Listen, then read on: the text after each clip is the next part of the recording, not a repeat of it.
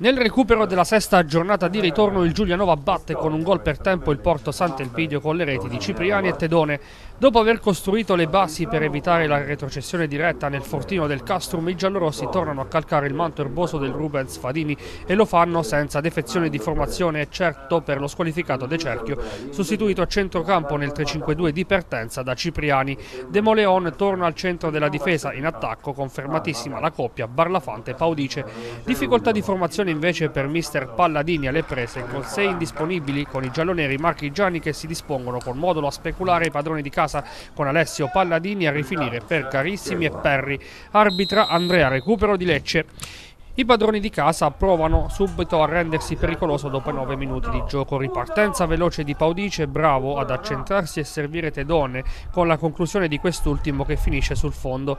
I marchigiani giocano senza paura e rispondono subito andando vicino al gol in due occasioni.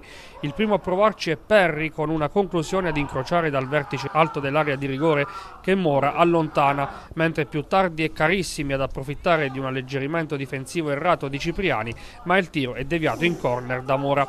I giallorossi sentono l'importanza dei punti in palio e lo dimostrano alcune scelte affrettate durante le fasi di gioco.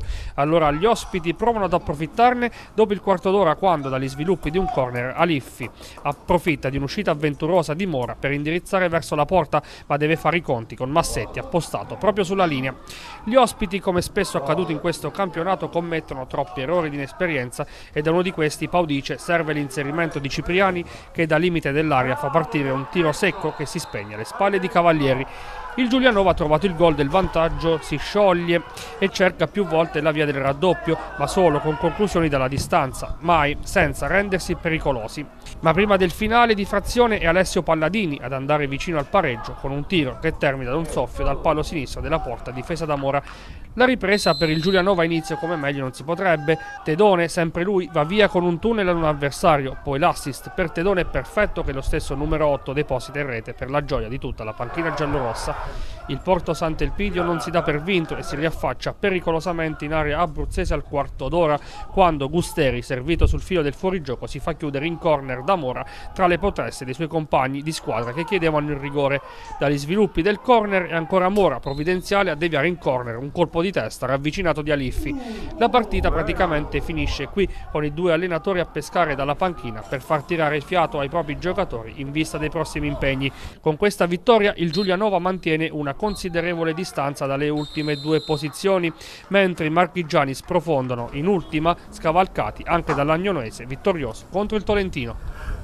Diciamo che dopo, dopo, il gol ci siamo sbloccati un po' tutti. I primi 15 minuti sì, siamo andati un po' in difficoltà, che era una partita per noi fondamentale eravamo un po' nervosi, diciamo. C'era molta tensione. Poi dopo sì, dopo il gol mio ci siamo sciolti e piano piano abbiamo giocato sempre meglio. Oggi hai avuto questa opportunità di giocare subito dall'inizio e l'hai sfruttata al meglio, adesso che cosa ti aspetti?